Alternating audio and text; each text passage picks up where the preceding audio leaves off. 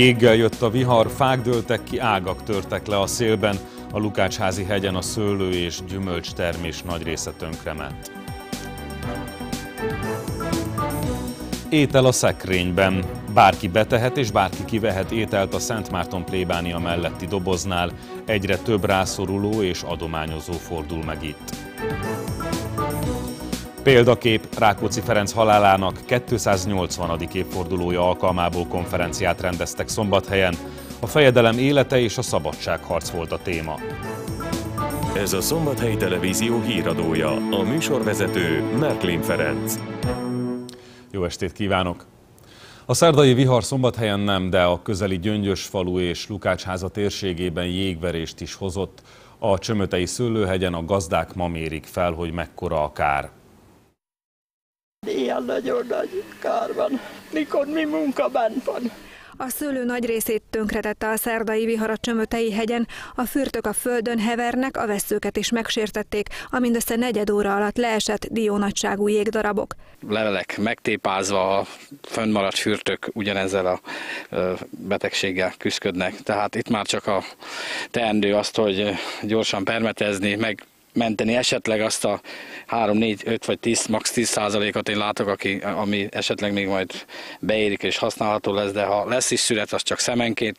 Az 53 hektáros hegyen a parcellák egy részén szőlőt termesztenek, szinte mindenhol így néz ki a növény, mutatja Sánta Tiborné. Ezeket a veszőket kell megvédeni, a sebeket begyógyítani, hogy jövőre lehessen mit lehajtani. De nem csak a szőlőt, a zöldségeket sem kímélte a jég. A viharban a gyümölcsök nagy része lehullott a fáról. Csak pár nap múlva derül ki, hogy mekkora a tényleges kár, mondja Kenyeri Dezső. Itt van, meg lehet nézni, ez a őszi barack is olyan szépen alakult, és hát sajnos ez van. Erős széllel és nagy mennyiségű csapadékkal érkezett meg a nyári hőséget enyhítő vihar. Szombathely és Server térségében több településen villanyvezetékekre, illetve telefonvezetékekre, úttestre dőlt faágak, fák adtak feladatot a tűzoltóknak. Szerdán összesen 20 esethez riasztották a megye tűzoltó egységeit.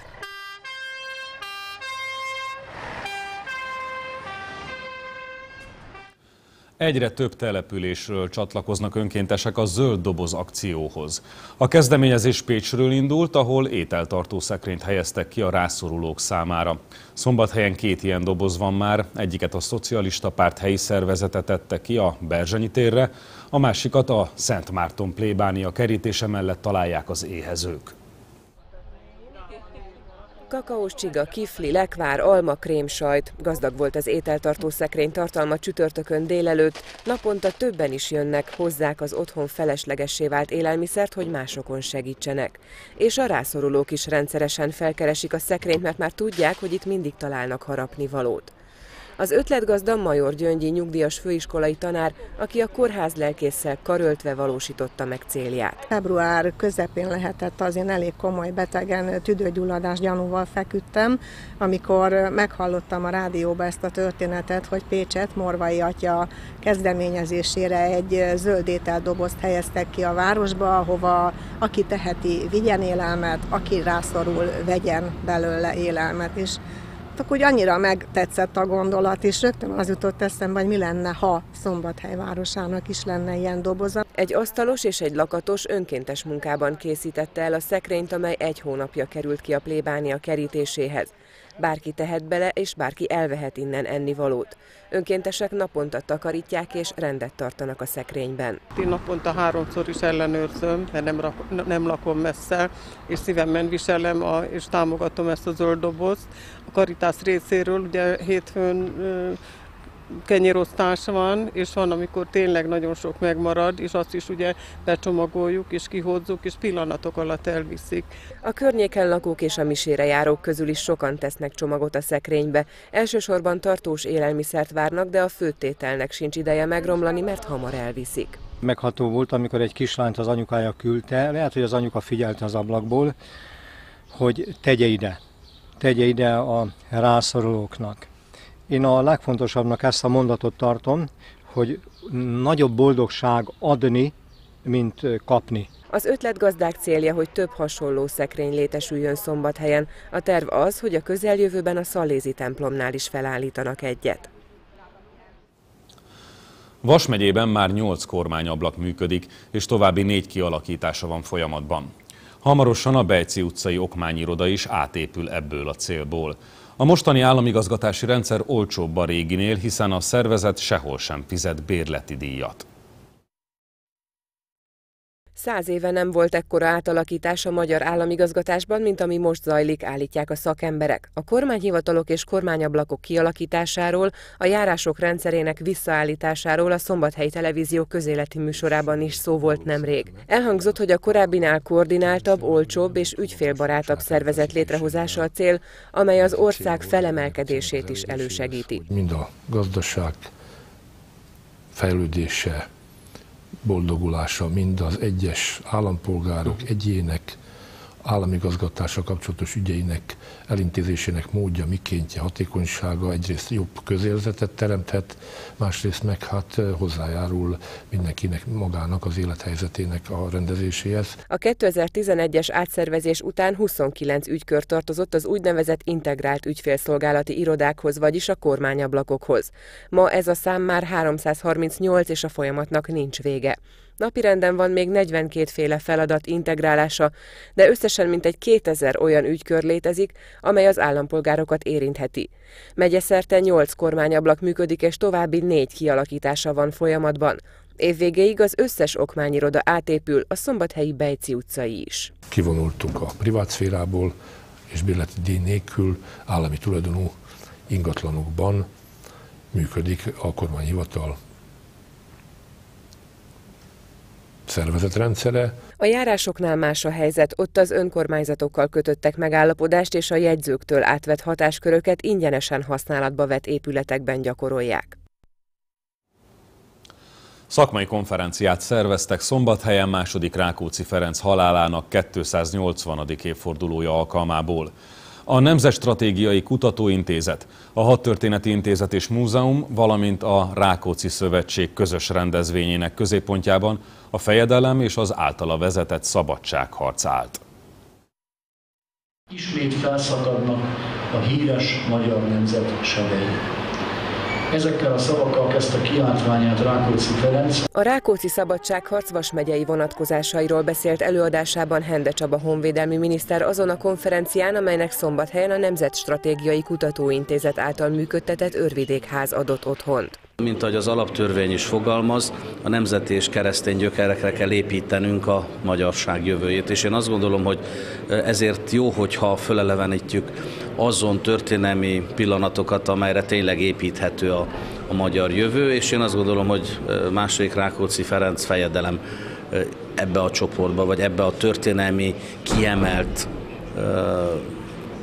kategóriába tartozik. Rákóczi Ferencet 1705-ben választották Erdély és Magyarország vezérlő fejedelmévé. Az általa vezetett szabadságharc célja az volt, hogy kivívja az ország függetlenségét a Habsburg birodalomtól. Bár a harc elbukott, sikerült megakadályozni az ország beolvadását, és a rendi alkotmány fennmaradt. A békekötés után Rákóczi nem volt hajlandó hűséges tenni a császárnak, hazájától távol Rodostóban halt meg.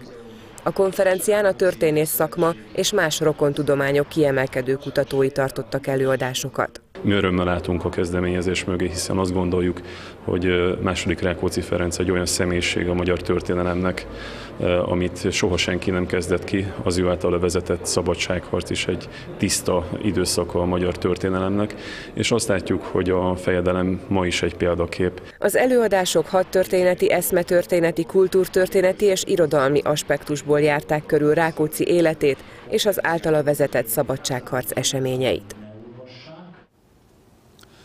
A Dévai Szent Ferenc Alapítvány 15 diákja tölthet egy hetet Vas megyében. Szakonyfalu hívta meg a nehéz sorsú gyerekeket, akiket a településen élő családoknál helyeztek el. Minden napra programokat szerveznek a táborozóknak. Szerdán például a Szombathelyi Erdészeti ZRT látta vendégül az erdélyi magyar diákokat.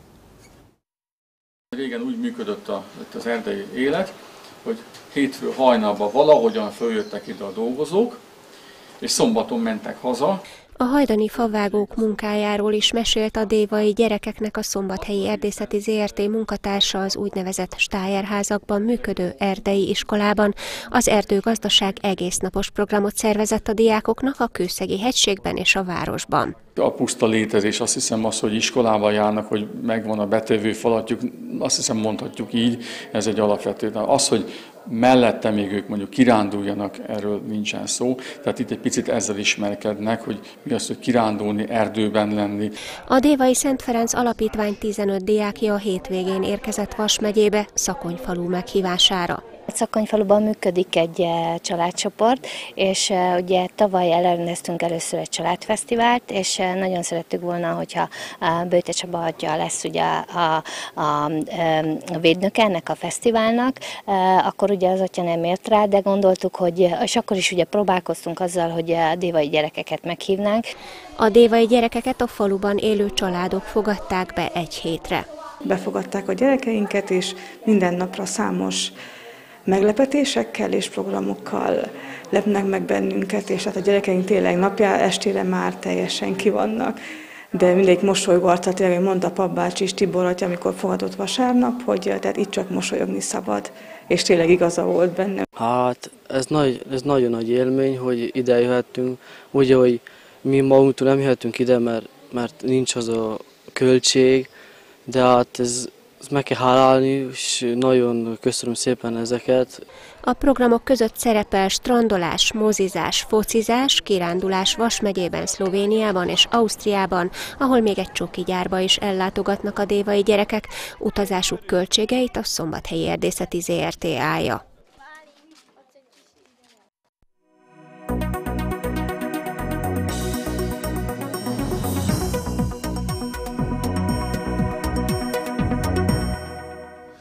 16. alkalommal rendezték meg szombathelyen a Sri Chinmoy maratont. A versenyen a hőség ellenére több mint százan vágtak neki a három különböző távnak. A viadal névadója egy bengáli amerikai spirituális vezető, aki egész életét az emberiség szolgálatának szentelte. Már az előzetes nevezések alapján is sejteni lehetett, hogy a 16. szombathelyi Sri Chinmoy maratonon népes mezőny áll majd rajthoz. A viadal reggelén azonban az óriási hőség ellenére még olyan sokan jelezték az indulásokat, hogy végül több mint százan vágtak neki a parkerdőből induló háromféle versenytávnak. Mi a Sri Chinmoy nevet viseljük ezzel a maratonnal, és az ő szellemiségében itt az öntúlszárnyalás a fő üzenete ennek a rendezvénynek.